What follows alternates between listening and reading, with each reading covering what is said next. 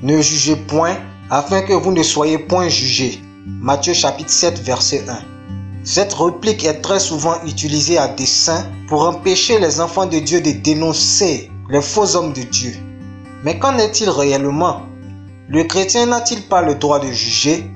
Il faut savoir que la langue française a une carence en vocabulaire. Nous pouvons le remarquer lorsqu'un mot a des sens différents selon le contexte dans lequel il est employé. C'est dans ce registre que s'inscrit le verbe juger.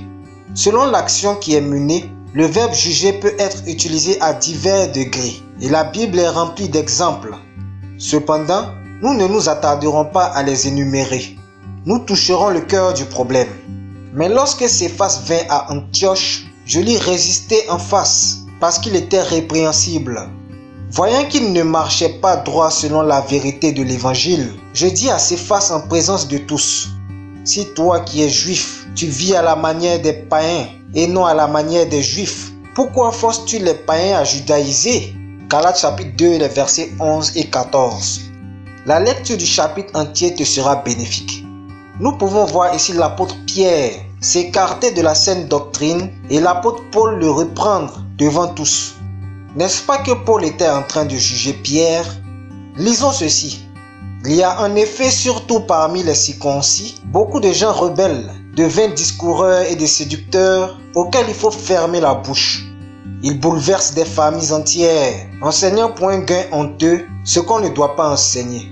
L'un d'entre eux, leur propre prophète, a dit Crée-toi toujours menteur, méchante bête, vente paresseux. Ce témoignage est vrai.